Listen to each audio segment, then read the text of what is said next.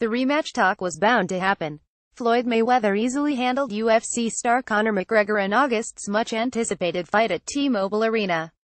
And while the 10th round TKO made for a more entertaining fight than expected, Mayweather was clearly the more skilled and conditioned fighter and never was seriously challenged by McGregor.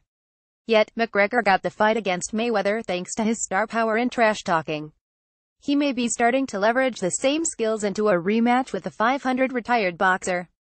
In an interview with BBC, McGregor claimed that he would learn from his mistakes and beat Mayweather in a rematch.